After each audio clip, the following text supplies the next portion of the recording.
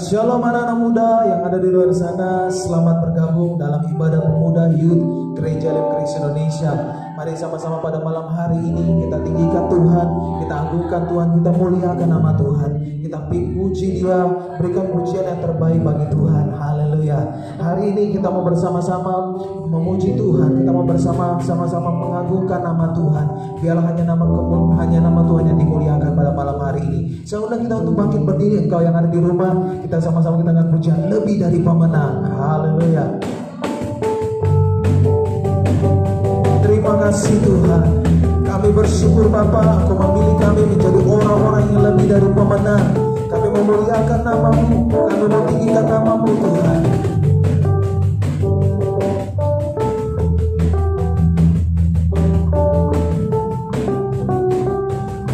Mari sama-sama yang ada di rumah katakan lebih dari pemenang Lebih dari pemenang dalam salah perkara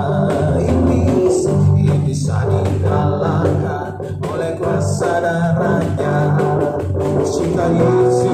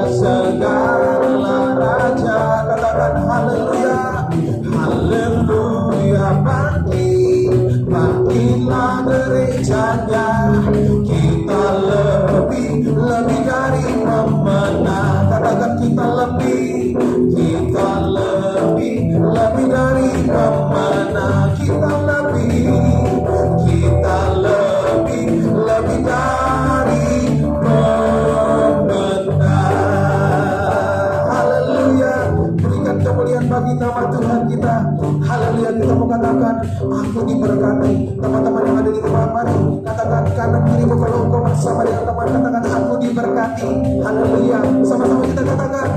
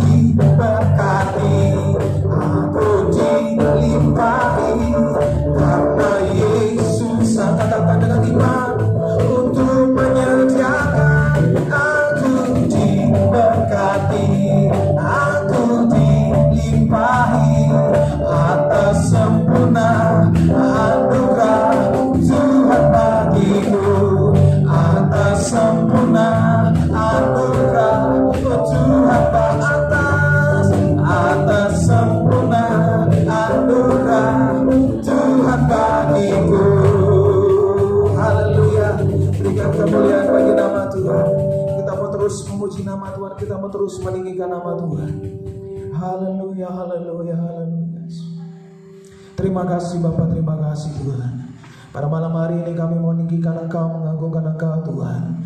Kami memuliakan namamu Tuhan. Pada malam hari ini kami anak-anak muda yang ada di tempat ini kami mau mengagungkan Engkau Yesus. Kami mau katakan Engkau Allah yang besar, layak dipuji, layak ditinggikan Tuhan. Biarlah Engkau melayakan kami, menguduskan kami. Terima kasih Tuhan, terima kasih Bapak. Haleluya, haleluya,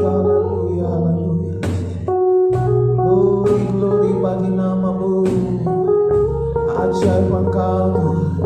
Dahsyat engkau Bapa, engkau luar biasa. Engkau ajaib Tuhan. Biarlah segala bangsa memuji namamu Tuhan. Biarlah segala bangsa meninggikan namamu Bapa. Malam hari ini, mari sama-sama kita akan pujian besar dan perkasa.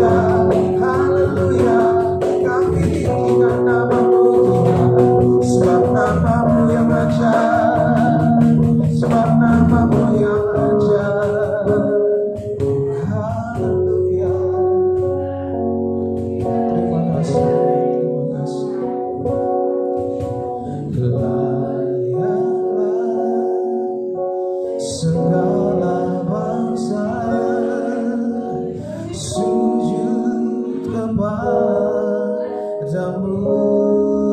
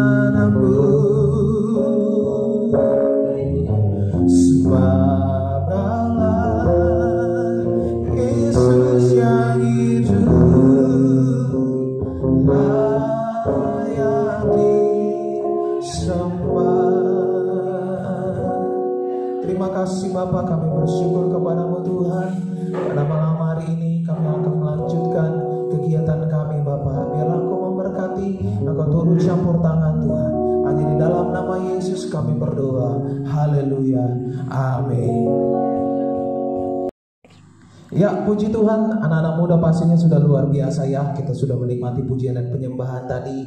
Kita sudah menikmati mengagungkan nama Tuhan. Hari ini kita mendengarkan kesaksian-kesaksian yang luar biasa dari anak-anak muda yang luar biasa yang telah dipilih Tuhan. Dan tema hari ini adalah Before and After I Know God. Haleluya.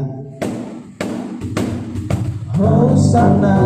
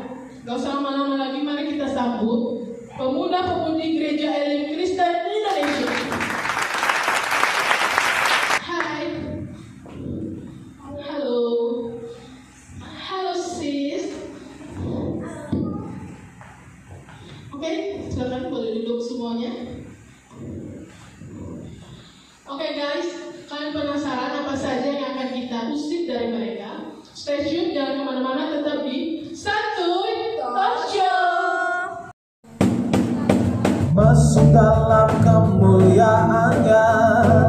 Dia perlindungan dan pengharapan. Dia perlindungan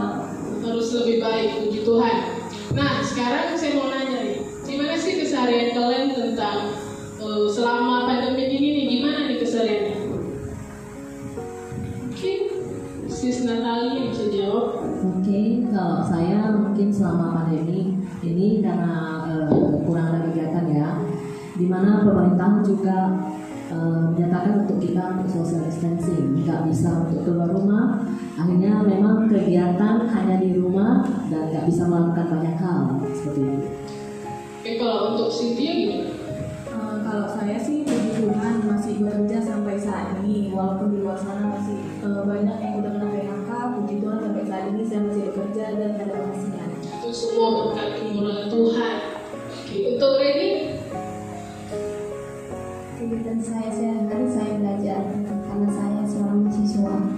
Lainnya? Yang belajar online. Oke. Okay. Nah guys, hari ini kita itu mengambil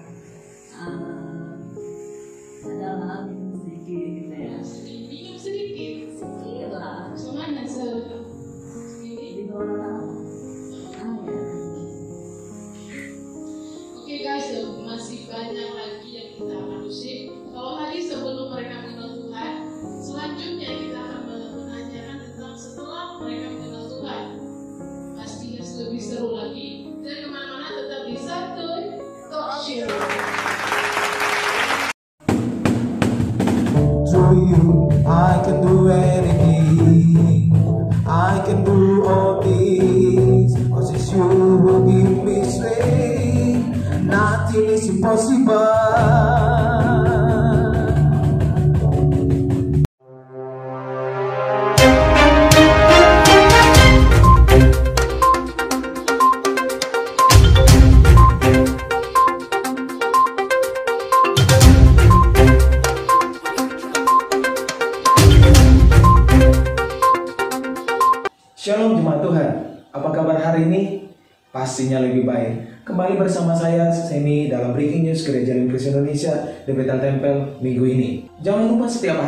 Kita akan mengadakan ibadah mujizat pada pukul 19 waktu Indonesia Barat. Kita juga akan dilayani oleh Gembala Sidang Pendeta David Mario Pan. Untuk itu, kami himbau kepada seluruh sidang jemaat untuk berkumpul bersama-sama di mana pun saudara berada untuk mengikuti ibadah Ibadah doa puasa setiap Sabtu pukul 17.30 waktu Indonesia Barat dihimbau pada seluruh sidang jemaat untuk tetap melakukan doa puasa bersama-sama di mana pun saudara berada. Dan yang gak kalah penting lagi, jangan lupa ibadah minggu. Pada pukul 10 waktu Indonesia Barat, kita akan dilayani oleh pendeta David Mariapan. Nah, buat kamu yang masih muda, khususnya anak-anak muda gereja dan Kristen Indonesia, jangan lupa untuk follow Instagram Youth Fellowship Gereja Indonesia. Di situ akan banyak informasi-informasi menarik mengenai kegiatan-kegiatan pemuda. Bagi saudara yang ingin memberikan persembahan, perpuluhan atau ucapan syukur dapat melalui dapat ditransfer melalui rekening yang ada di bawah ini. Nah, ada yang baru lagi nih untuk Gereja Elim Kristen Indonesia. Setiap hari akan ada morning class. Morning class itu Bapak Ibu Saudara tidak perlu datang ke gereja atau ke mana. Saudara tinggal membuka YouTube channel Gereja. Di situ saudara akan mendapatkan beberapa pelajaran-pelajaran penting mengenai kebenaran firman Tuhan dan itu akan ditampilkan setiap hari pada pagi hari. Jadi jangan lewatkan ya. Kegiatan-kegiatan ibadah kita akan dilakukan secara live streaming melalui Facebook Gereja Kristen Indonesia, bahkan YouTube Gereja Kristen Indonesia.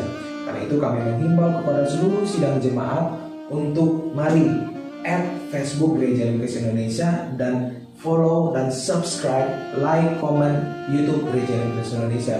Nah, bagi seluruh sidang jemaat supaya nggak ketinggalan berita, nggak ketinggalan, jangan lupa update terus kegiatan-kegiatan Gereja Kristen Indonesia di Instagram Gereja Kristen Indonesia dan Facebook Gereja Kristen Indonesia. Demikian informasi-informasi sepekan mendatang. Saya Samuel undur diri. Stay safe, tetap berdoa. God bless you.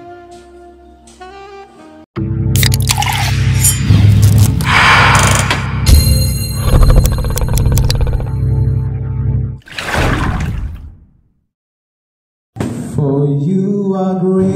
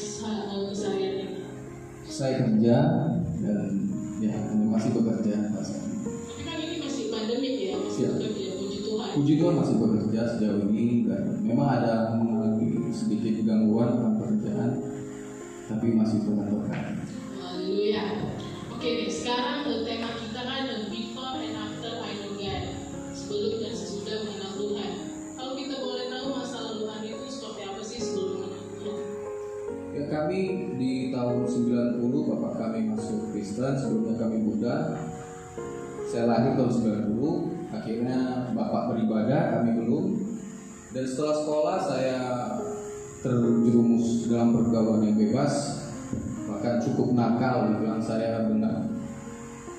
Merokok pakai narkoba maupun minuman-minuman keras bahkan semua yang nakal itu nakal kenakalan ya kenakalan saya sudah buat pokoknya yang namanya narkoba saya sudah pakai semua sejauh ini ya sampai segitu lah. Jadi sangat sangat yang gimana ya masa lalunya. Tapi kalau kita lihat sekarang, nenek Goin ini dipakai Tuhan sangat luar biasa dalam pelayanannya. Itu gimana nih setelah aneh mengenal Tuhan? Banyak sekali kan perubahan yang aneh alami. Itu apa aja perubahan yang aneh alami? Ya sebenarnya kalau mau langsung ke pengenalan akan Tuhan jauh sekali ya panjang sekali kalau mau diceritain karena kehidupan saya jatuh bangun jatuh bangun. Dan kalau kita persingkat aja Tuhan memanggil saya saya kurang tahu tahun berapa. Mungkin sekitar 12 tahun yang lalu atau 10, 11 tahun yang lalu saya benar-benar bertobat. Karena selama ini saya belum bertobat hanya jatuh bangun jatuh bangun. Akhirnya puji Tuhan hari ini Tuhan sudah memberikan saya kesempatan. Saya sudah jauh lebih baik. Yang dulunya saya sempat juga Tadi saya belum bilang Saya sempat jual narkoba Biarpun bukan saya punya Tapi saya sebagai calon gitu kan? Pengedar Dan saya sudah juga dikejar-kejar polisi. Bahkan nama saya itu kok di kantor polisi itu sudah DPU dibilang orang. Cuma puji Tuhannya polisinya tahu nama, tidak tahu orang. Jadi sering dicari, kami sudah tiga kali dikejar-kejar puji Tuhan lolos. Jadi puji Tuhan lolos, Tuhan baik, Tuhan selamatkan dan akhirnya pada ketiga kali saya dikejar polisi itu saya benar-benar merasa ketakutan sampai-sampai saya berondok itu jam 3 pagi saya berondok di kebetulan di rumah kami itu ada kuburan tanah wakaf saya berondok di bawah kuburan jam 3 pagi bayangkan dikejar polisi Akhirnya di situ saya merasakan ketakutan belum pernah saya rasakan di situ saya ketakutan. Gemetaran benar-benar ketakutan. Akhirnya puji Tuhan melalui gembala sidang kita di tempat ini Bapak Pendeta David. Beliau menuntun saya datang sering ke rumah berdoa bareng dan saya mulai bergereja.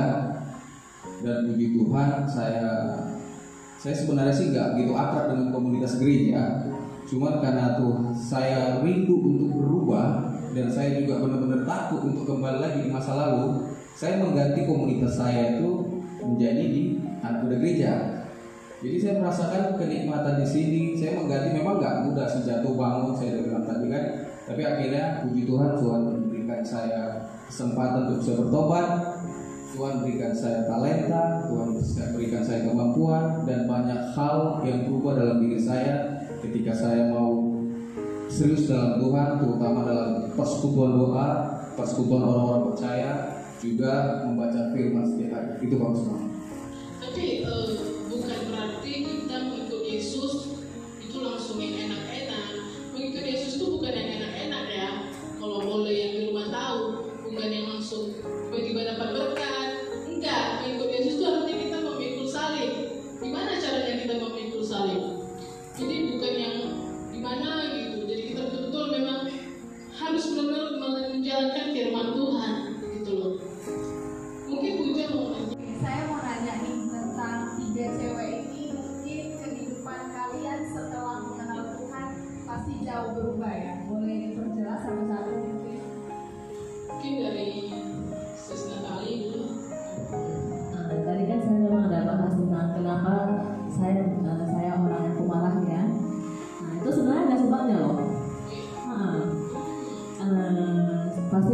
selalu ada sebab pada satu pihak ya.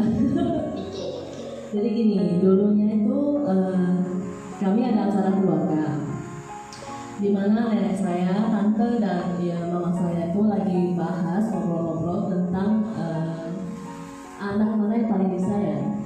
Pada waktu itu kami ada beberapa yang tidur di depan dan eh, saya sendiri sebenarnya belum tidur, tapi saya mendengarkan percakapan mereka gitu.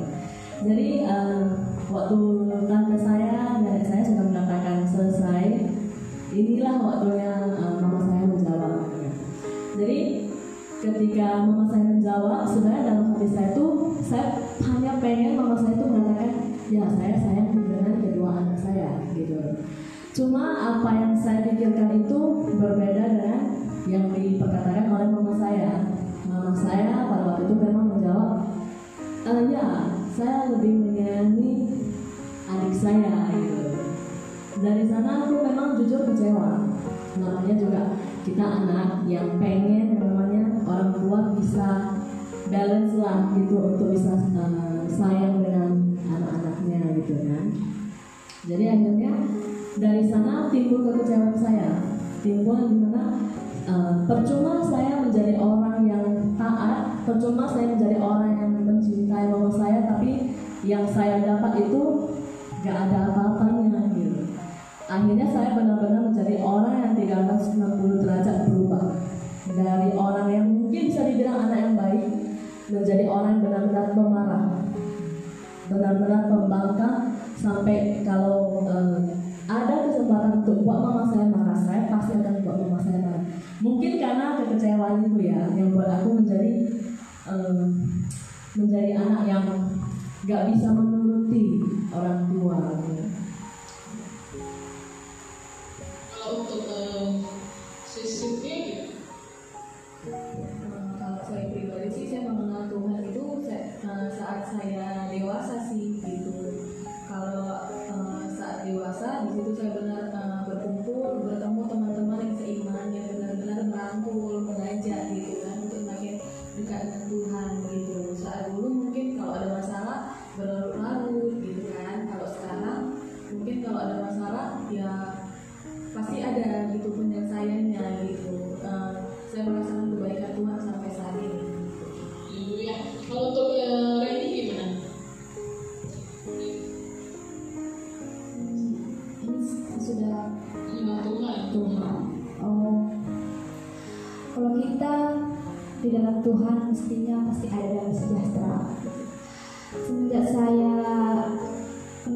lebih dekat lagi semenjak saya kelas 3 SMA. Kenapa saya bisa dekat sama Tuhan? Kenapa saya berubah dari pemarah, dari pemalas, dari pikiran negatif itu? Karena ada sebuah masalah yang datang kepada keluarga saya hingga sampai sekarang belum terselesaikan juga gitu. Tapi satu hal yang saya pegang pada saat hari ini sesuatu Tuhan izinkan masalah itu terjadi ada suatu hal kemuliaan Tuhan sediakan bagi keluarga saya. Walaupun sampai hari ini masalah itu belum siap, nah, tapi saya percaya ini adalah mulai dari kakak saya, kami 10 bersaudara tambah bapak saya 11. Akhir-akhir ini semakin mendekat kepada Tuhan. Eh, tadinya sebelum masalah ini ada, bapak saya nggak pernah berdoa pagi-pagi, tapi sekarang dia tiap pagi tiap pagi dia selalu berdoa bangun jam 5 pagi. Itulah eh, maksud saya setelah saya mengenal Tuhan hidup saya dibaharui, kehidupan keluarga saya dibaharui, walaupun ada masalah ini, tetapi ada dalam sejahtera bagi keluargaku.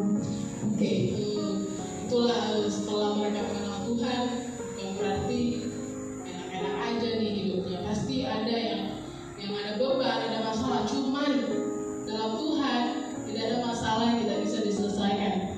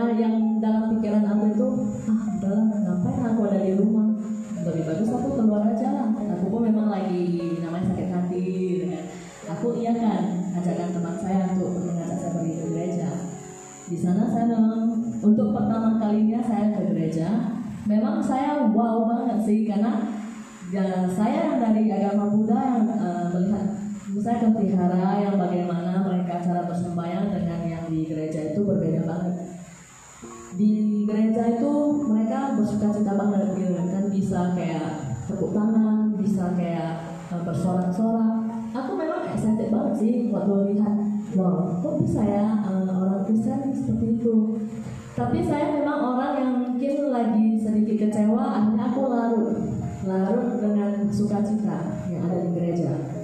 Dan sampai saya mengikut juga, saya pun bertepuk tangan bisa mengikuti semua yang ada di gereja.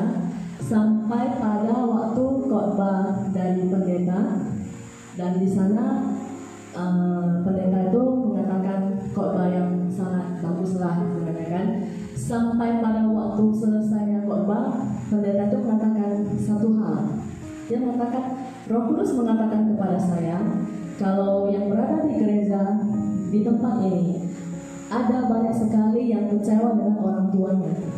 Dan saya kok bisa gitu ya? Loh kok kenapa pendeta itu bisa mengatakan hal seperti itu? Memang saya datang dengan kondisi lagi kecewa banget dengan mama saya sendiri gitu kan jadi akhirnya eh, pendeta itu mengatakan bagi siapa pun yang mempunyai kekecewaan dengan orang tua langsung datang ke depan. Saya pun gak mikir panjang, saya langsung datang keluar. Dan saya memang melihat pada waktu itu juga orang-orang yang tadinya bersuka cita dan mereka menangis. Dan ternyata banyak problem mungkin dari orang tua atau siapa pun gitu kan. Mereka bisa keluar dan akhirnya mereka bisa menangis berteriak. Aku pun uh, larut karena aku memang sedih juga ya sedih karena saya juga di posisi yang sama. Saya memang benar-benar kecewa dengan eh, orang tua saya dan rumah saya. Eh, sampai pada waktu pendetanya eh, mendoakan satu satu satu satu orang, sampai kepada saya, eh, pendeta itu mengatakan, ampunilah mama kamu. Aku tak mengatakan apa-apa loh. Aku benar-benar wow, sangat kaget. Kenapa bisa aku gak ada ngomong apa pun Tapi pendeta itu bisa mengatakan Ampunilah mamamu Aku gak ada bilang aku lagi kecewa dengan mamaku kan Dia mengatakan seperti itu Saat itu juga aku memang Lahir baru Aku menerima Tuhan Dan itulah pertama kalinya aku mengenal Kristus Oke, sangat sangat luar biasa ya. Oke, eh, mungkin untuk saat ini kita juga melihat banyak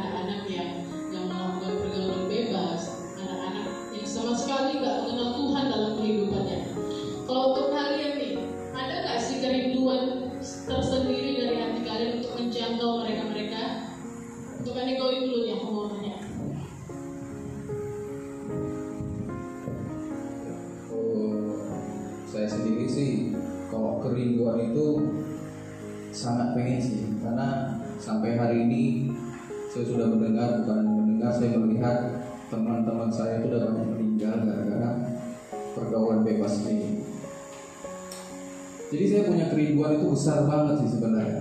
Cuman karena teman-teman yang lain itu sedikit jumlahnya yang sudah bertobat, bisa dibilang mungkin baru aku gitu. Yang lain rata-rata masih jauh kehidupannya bahkan saya dengar akan banyak yang lebih parah gitu kan. Akhirnya itu juga yang buat saya pikir bagaimana saya membawa mereka ke sini karena firman Tuhan juga bilang pergaulan yang buruk merusak kebiasaan yang baik gitu. Gitu juga saya mengganti komunitas saya yang di sana, saya mengganti di sini puji Tuhan Tuhan memberikan pertumbuhan dan pertobatan yang sungguh. Itu juga saya punya kerinduan yang sangat-sangat. Tapi ya kita berdoa bersama-sama. Saya pas, saya tahu pasti Tuhan pasti menjawab kerinduan saya ini satu hari nanti. Mungkin Tuhan bisa pakai saya untuk membawa keselamatan, membawa pertobatan kepada teman-teman saya. Karena kita percaya nggak ada yang nggak mungkin dengan Tuhan. Kalau untuk Cece sendiri gimana? Ada nggak sih kerinduan Cece untuk menjangkau anak-anak muda di luar sana? Hmm, Pastinya ada ya, itu memang kerinduan setiap kita ya. Karena itu eh, salah satu misi juga kalau kita harus menjangkau mudah-mudi di luar sana yang belum mengenal Tuhan pastinya. Ya, buat sahabat-sahabat kami yang ada di rumah, tadi kita sudah mendengar jelas ya dari narasumber kita yang ada di sini bagaimana kehidupan mereka sebelum dan sesudah mengenal Tuhan.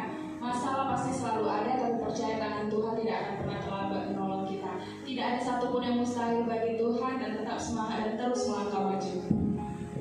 Oke, jangan ke mana-mana. Setelah ini kita juga akan mendengarkan renungan dari Brother Semi tentang sebelum dan sesudah kita mengenal Tuhan. Check it out. Ya shalom anak-anak muda, apa kabar? Pastinya lebih baik. Tadi kita sudah mendengar dalam talk show dengan tema Before and After I Know That. Kita sudah mendengar kesaksian-kesaksian yang luar biasa dari teman-teman kita.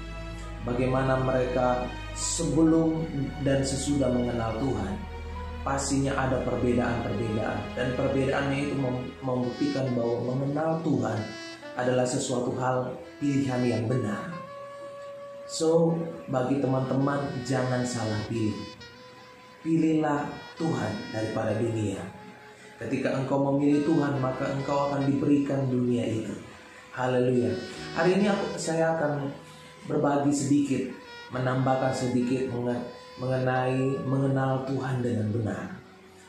Dalam Yohanes 17 ayat 3 katakan, inilah hidup yang kekal itu, yaitu bahwa mereka mengenal engkau satu-satunya Allah yang benar dan mengenal Yesus Kristus yang telah engkau utus.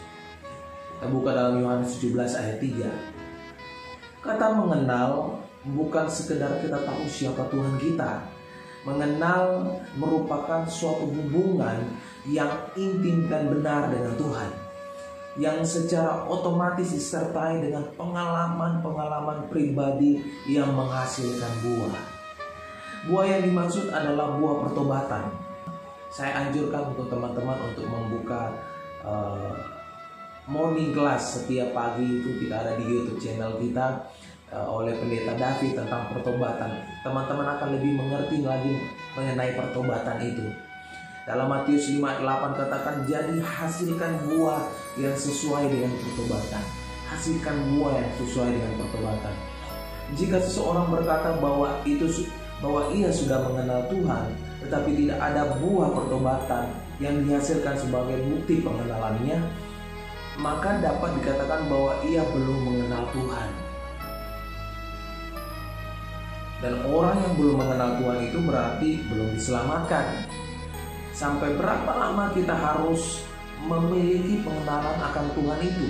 Sampai berapa lama kita harus memiliki pengenalan akan Tuhan itu sehingga kita beroleh hidup yang kekal? Karena mengenal Tuhan itu berbicara tentang hidup yang kekal. Jawabannya adalah sampai selama-lamanya. Artinya suatu tindakan yang harus kita lakukan secara terus-menerus, kontinu. Sebab hidup kekal itu bukan sekedar berbicara dengan berbicara tentang kerajaan surga, tetapi suatu hubungan yang karib, yang dekat dengan Tuhan sampai selama-lamanya. Jadi teman-teman, kalau berbicara tentang mengenal Tuhan, berarti kita harus harus ada hubungan yang erat dengan Tuhan. Harus ada hubungan yang dekat dengan Tuhan. Sebagaimana kita dengan sahabat kita, sebagaimana kita dengan orang tua kita. Sebegitu juga kita dengan Tuhan. Itulah yang Tuhan mau. Itulah artinya mengenal Tuhan. Sudahkah teman-teman memiliki keintiman dengan Tuhan secara pribadi? Semua orang bisa saja berkata bahwa ia telah mengenal Tuhan. Oh saya sudah mengenal Tuhan kok. Oh aku udah mengenal Tuhan kok setiap minggu aku datang ke gereja. Bahkan setiap ibadah pemuda aku nggak pernah absen. Namun hal itu tidak menjamin bahwa mereka sudah kenal, sudah dikenal oleh Tuhan. Firman Tuhan katakan dalam 1 Korintus 8 ayat 3 tetapi orang yang mengasihi Allah ia dikenal oleh Allah. Artinya bahwa ketika kita mengasihi Tuhan dengan benar, maka kita dikenal oleh Tuhan. Jangan sampai kita menjadi orang Kristen yang selama bertahun-tahun tapi akhirnya Tuhan berkata, "Sorry, I don't know you." I'm sorry, I don't know you. Firman Tuhan katakan dalam Matius 7:23, "Aku tidak pernah mengenal kamu. Enyahlah daripadaku, kamu sekalian pembuat kejahatan." Wah, sangat mengerikan. Jadi mari kita koreksi diri kita. Kita kembali lagi. Buat teman-teman yang belum mengenal Tuhan, buat teman-teman yang belum mengerti siapa Tuhan itu, mari cari Tuhan lebih dekat. Panggil namanya. Firman Tuhan katakan, ketuklah pintu maka engkau akan dibukakan. Carilah maka engkau akan mendapatkan. Yesus membuka tangannya bagi setiap kita yang ada Yesus memberikan hidupnya bagi setiap kita agar kita memperoleh hidup yang kekal. Oleh karena itu jangan sia-siakan teman-teman. Mari bangun hubungan pribadi dengan Tuhan. Mari mulai mengenal Tuhan. Mulai bangun hal-hal yang menarik dengan Tuhan. Engkau akan menerima hal-hal yang baru. Hidup yang baru. Jadi saudara, kita bisa mengasihi Tuhan jika kita memiliki pengenalan yang benar akan Tuhan. Mari kita ingat bahwa kita diselamatkan bukan karena perbuatan yang baik yang kita perbuat, tetapi karena kasih karunia Tuhan melalui iman kita. Dalam Efesus 2 ayat 8 sampai 9 di mana iman itu datang dari pengenalan akan Tuhan secara benar melalui firman-Nya. Adapun iman yang benar mempunyai dua unsur, yaitu percaya kepada Yesus sebagai Tuhan dan percaya kepadanya sebagai juru selamat. Firman Tuhan katakan dalam Roma 10 ayat 9 Sebab jika kamu mengaku dengan mulutmu bahwa Yesus adalah Tuhan Dan percaya dalam hatimu bahwa Allah telah membangkitkan dia dari antara orang mati Maka kamu akan diselamatkan. Jadi teman-teman Jangan sampai engkau tertinggal. Jangan sampai engkau tidak diselamatkan. Berbicara tentang mengenal Tuhan Berbicara tentang hidup yang kekal jadi kalau kita mau hidup yang kekal, we should know about God. We should know about Him. Jesus is the center of our life. Yesus adalah pusat dari kita. Percayalah kepada Yesus sebagai Tuhan berarti harus percaya karya penembusan. Mengenal Tuhan tidaklah salah. Mengenal Tuhan tidaklah salah. Mengenal Tuhan adalah hal yang benar. So, jangan tunggu lama-lama. Mari kenal Tuhan lebih dekat. Mari kita berdoa. Terima kasih Bapa, kami bersyukur kepadamu Tuhan. Kalau pada malam hari ini kami sudah memuji dan mendengarkan kebenaran firman-Mu, menyembah Engkau, bahkan kami sudah mendengarkan kesaksian-kesaksian yang luar biasa. Pada malam hari ini Bapak biarlah Tuhan setiap kami yang ada kami dapat mengenal Tuhan lebih lagi. Bahkan kami yang belum mengenal kami dapat Tuhan menjamah hati kami sehingga kami dapat mengenal Tuhan lebih dalam lagi. Terima kasih Tuhan untuk hari ini. Biarlah hari ini kami diberkati dan dilawat Tuhan. Hanya di dalam nama Tuhan Yesus kami berdoa. Haleluya. Amin. God bless you. Oke teman-teman, terima kasih sudah setia menonton untuk like, comment, and subscribe channel YouTube kami di Gereja Elim Indonesia dan jangan lupa follow akun IG kami di Youth Elim. Thank you guys for watching. God bless you all. Shalom.